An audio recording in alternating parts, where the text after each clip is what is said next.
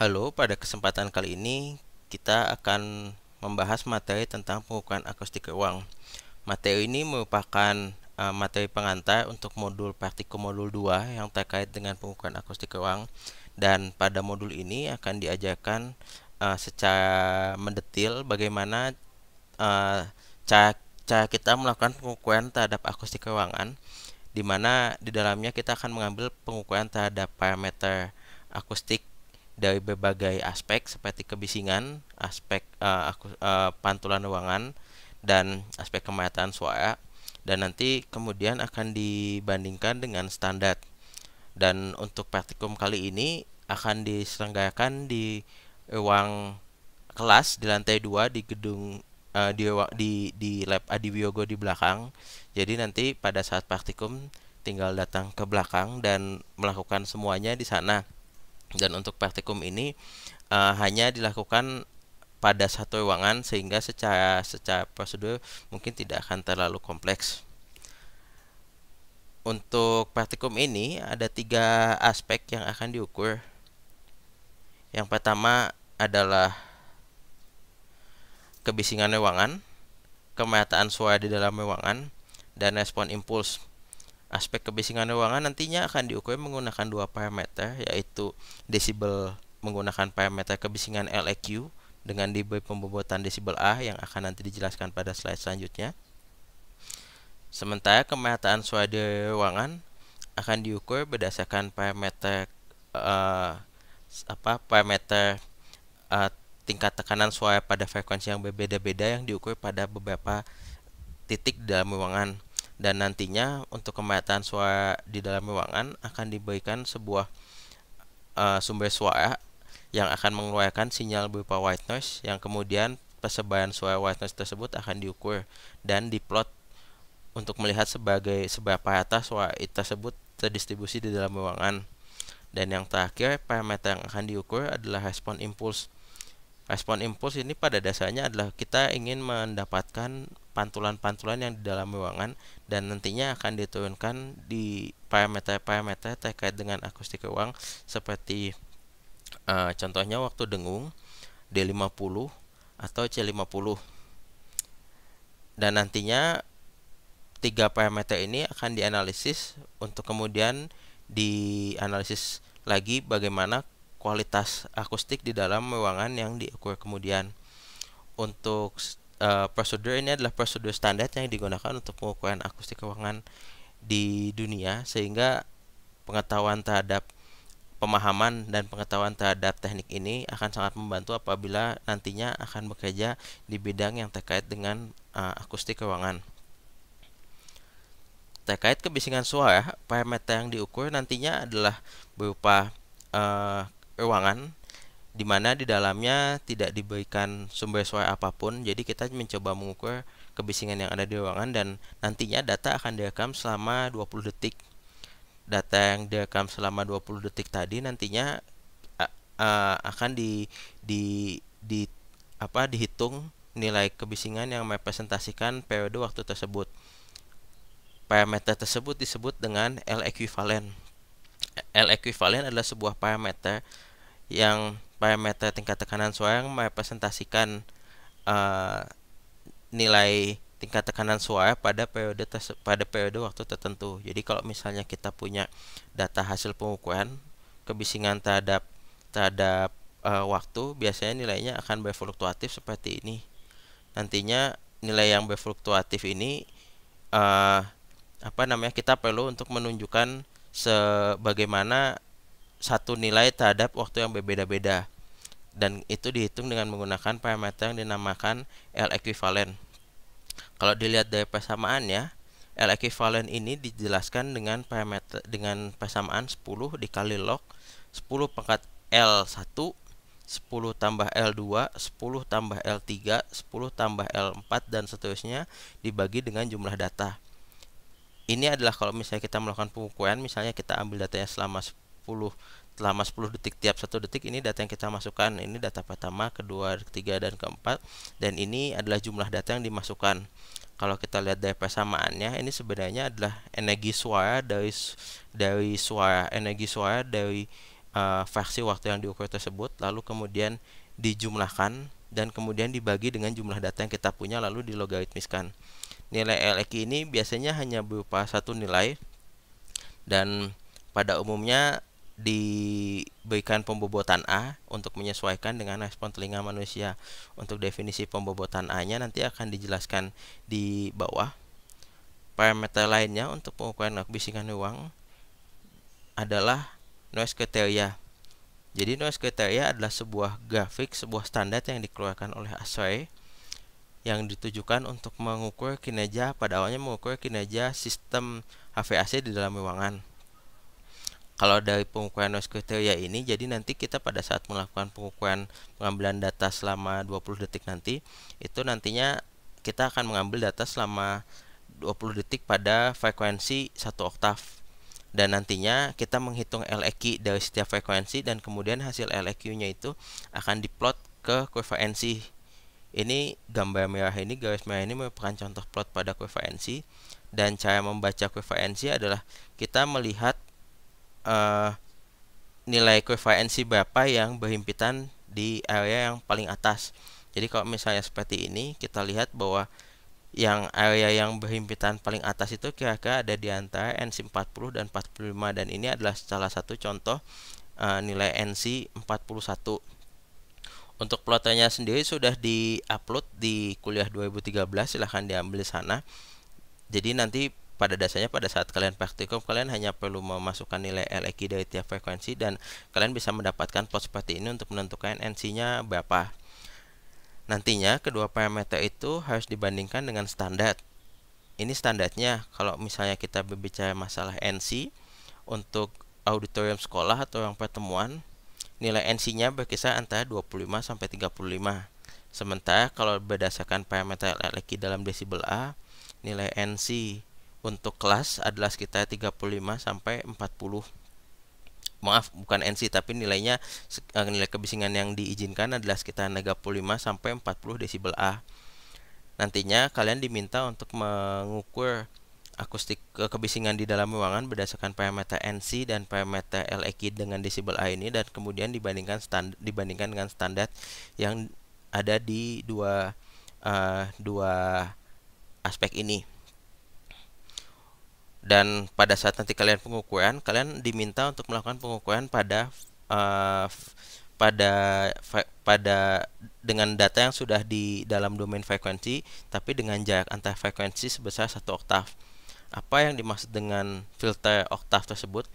Pada dasarnya filter oktav adalah sebuah filter yang menunjukkan perbedaan antara satu frekuensi dan frekuensi lain sebesar dua pangkat n jadi kalau misalnya kita punya filter satu oktav berarti jarak antara frekuensi pertama dan frekuensi kedua adalah 2 pangkat 1. Sementara untuk filter sepertiga oktav, jarak antara frekuensi pertama dan frekuensi kedua adalah 2 pangkat sepertiga. Frekuensi satu oktav biasanya digunakan untuk pengukuran akustik ruangan, di mana kita tidak memerlukan data yang data karakter frekuensi yang terlalu detail.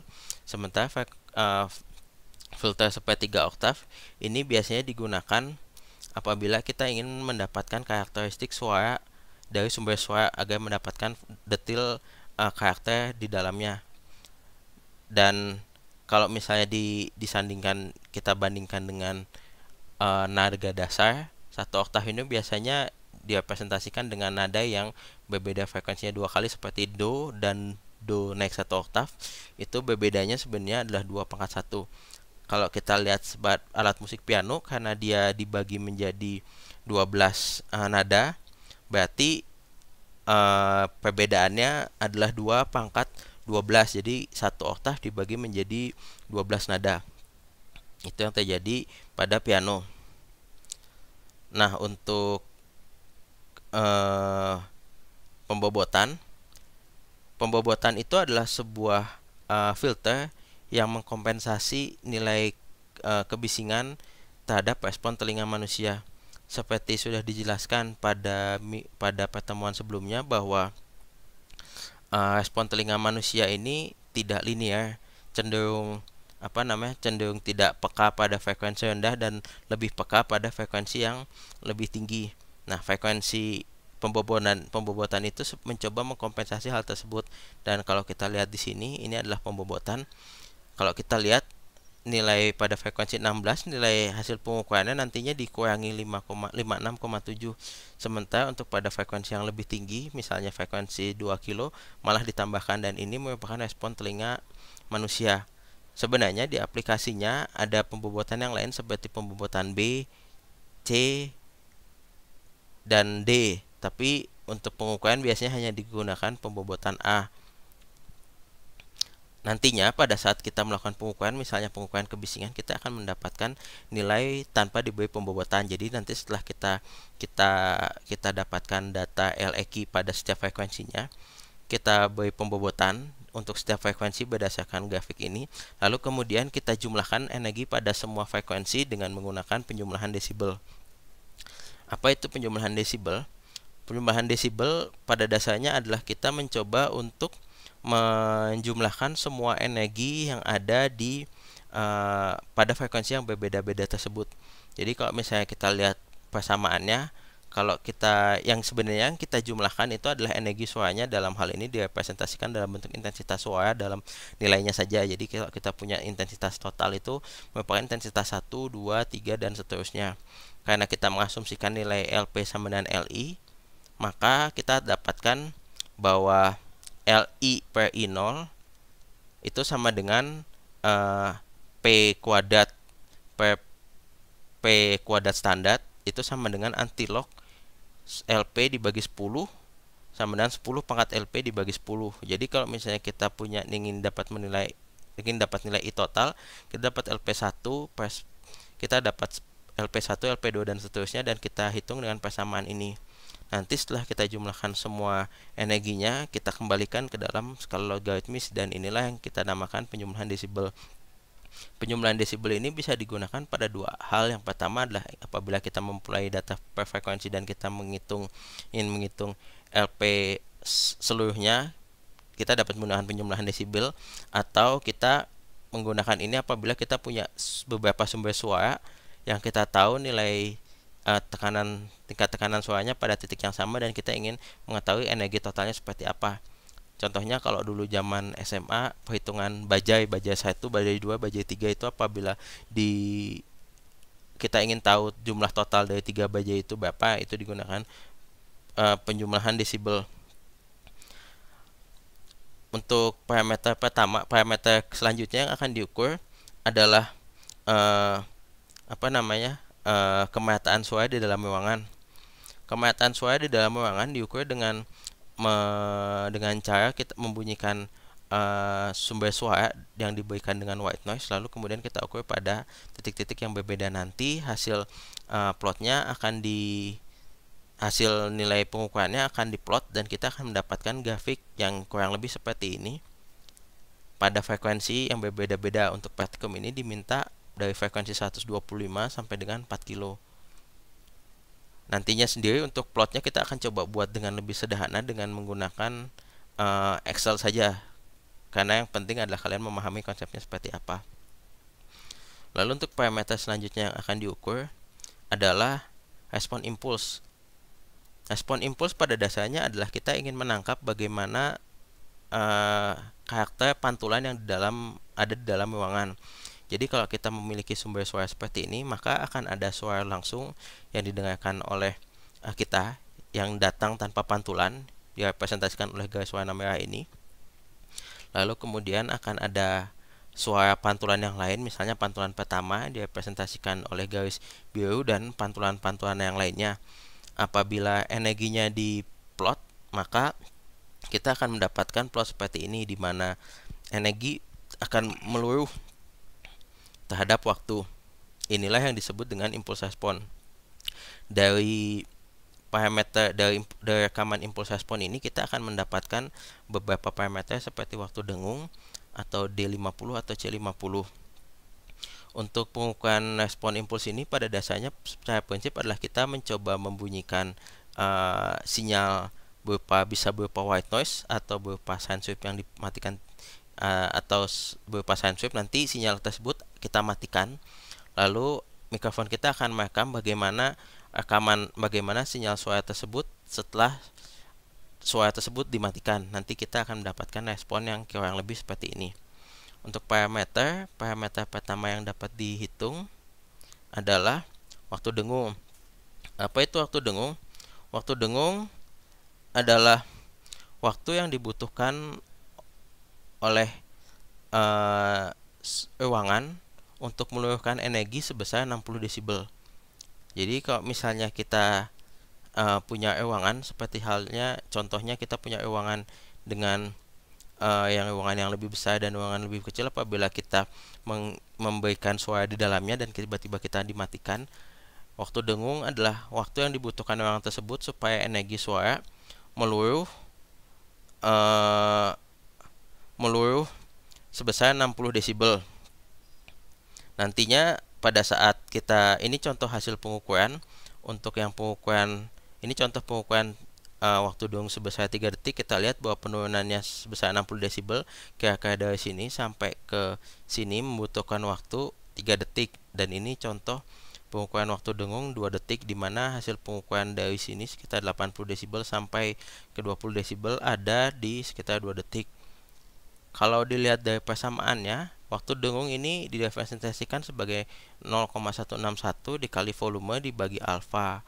rata-rata dikali S. V ini adalah volume ruangan, alfa rata-rata ini adalah penyerapan rata-rata di dalam ruangan, dan S ini adalah luasan permukaan. Jadi kalau dari sini kita bisa men me menunjukkan bahwa terdapat tiga aspek yang mempengaruhi uh, waktu dengung dalam ruangan yaitu volume ruangan, uh, koefisien absorpsi dari permukaan dan luasnya permukaan tersebut.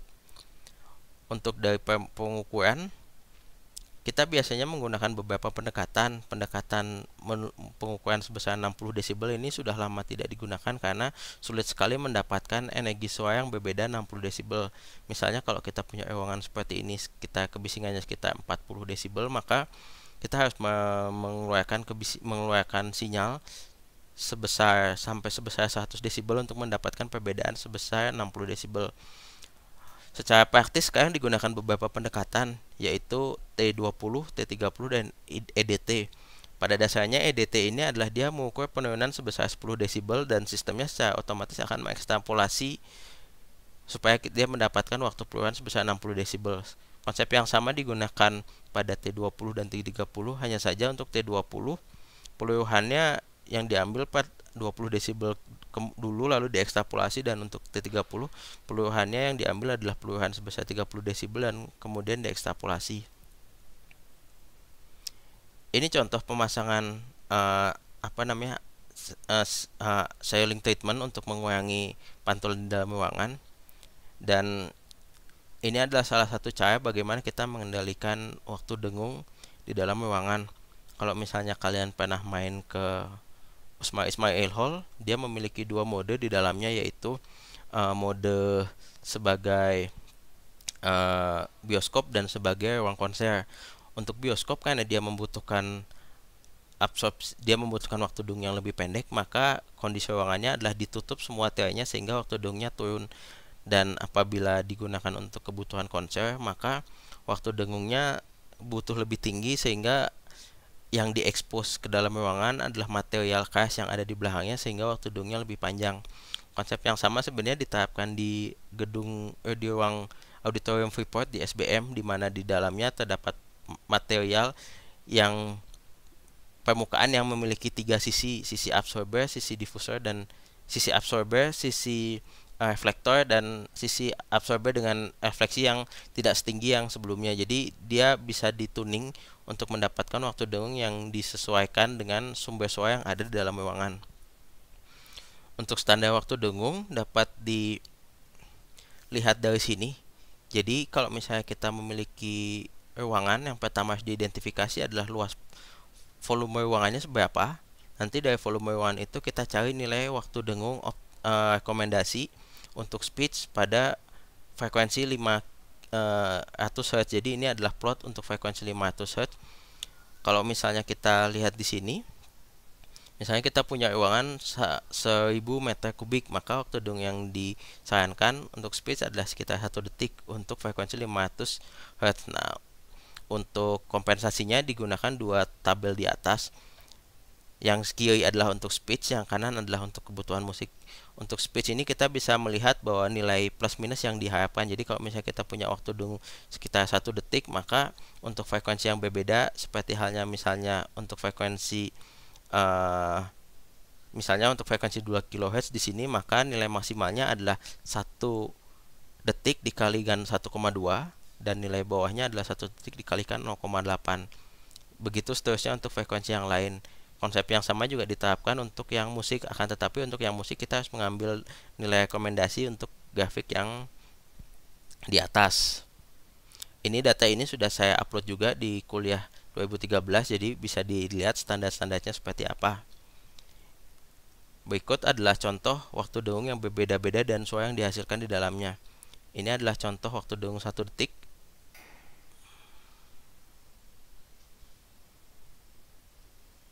dan ini contoh kalau ada orang berbicara di dalamnya.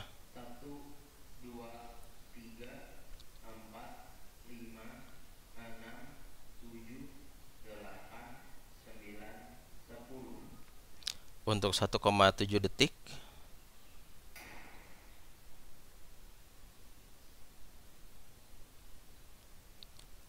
Contoh suara yang dihasilkan akan seperti ini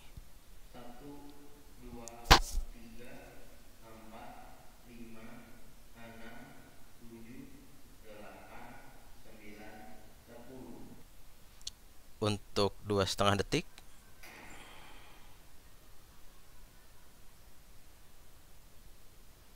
Suara di dalamnya akan seperti ini.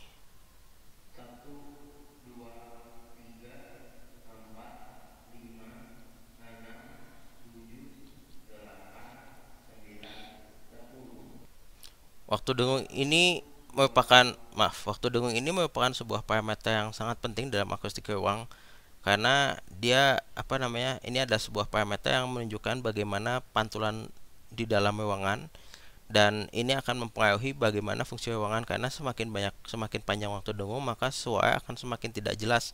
Akan tetapi untuk kebutuhan musik dibutuhkan waktu dengung yang lebih panjang supaya uh, apa namanya supaya musik terdengar lebih enak. Nah uh, fungsi dari ruangan harus menyesuaikan dengan uh, sumber suara yang ada di ruangan dan fungsi di ruangan apakah ruangan itu digunakan untuk keperluan percakapan spesial kelas atau digunakan untuk keperluan musik? Dan ini adalah tugas uh, akustik desainer akustik untuk mendesain ruangan yang cocok untuk kebutuhan yang berbeda-beda. Lain adalah D50 lain yang diukur dalam D50 ini terkait apa? dengan impuls respon adalah D50, D50 ini adalah sebuah parameter C50 yang menunjukkan energi suara uh, berapa besarnya energi langsung dalam persen dan standarnya adalah di 50 nilainya harus di atas 0,5 atau 50 persen. Sementara C50 menunjukkan sebenarnya mirip menunjukkan bagaimana rasio suara langsung dibandingkan dengan suara uh, dengan energi suara yang ada. Dan standarnya adalah nilainya untuk C50 nilainya harus di atas minus 0,2 kalau dilihat dua parameter ini sebenarnya menunjukkan uh, bagaimana rasio antara energi suara langsung dari 0 sampai 50 ml pertama dan energi yang lain. Hanya saja untuk di 50 dia dibandingkan dengan seluruh energi suara yang ada di dalamnya dan untuk uh, C50 dibandingkan dengan energi setelah 50 ml di awal.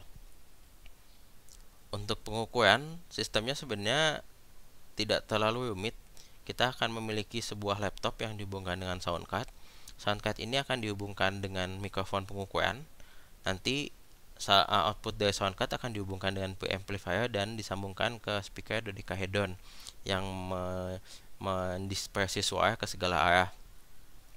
Untuk analisis ini yang dilakukan ada kita akan mengukur kebisingan kondisi AC dan non AC dengan parameter noise criteria dan uh, LEQ dan desibel dengan desibel A.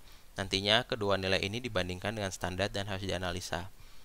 Untuk kemataan suara, kalian hanya perlu membangkitkan suara whiteness dan melakukan pengukuran pada beberapa titik yang berbeda yang diketahui koordinatnya.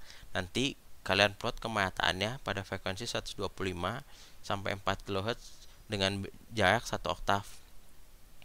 Nantinya akan kita lihat seberapa seberapa merata suara dalam ruangan itu.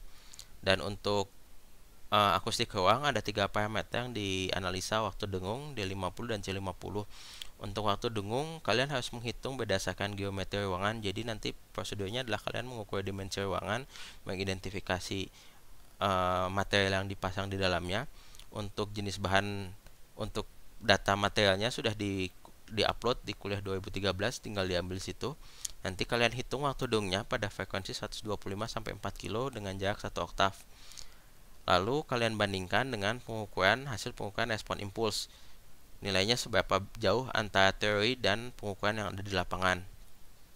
Nanti kemudian untuk pengukuran respon impuls dibandingkan dengan standar waktu dengung untuk keperluan speech berdasarkan volume ruangan yang ada. Untuk D50 parameter tersebut akan dimunculkan langsung oleh softwarenya. Nanti kalian analisis parameter D50 antara frekuensi 125 sampai 4 kilo pada titik yang berbeda-beda. Nanti dibandingkan dengan standar. Sama halnya dengan C50 prosedurnya diambil data C50 pada frekuensi 125 sampai 4 kilo dengan jarak 1 oktav lalu dibandingkan dengan standar. Itu saja yang harus dilakukan pada praktikum dan semoga praktikumnya lancar. Terima kasih atas perhatiannya, semoga bermanfaat.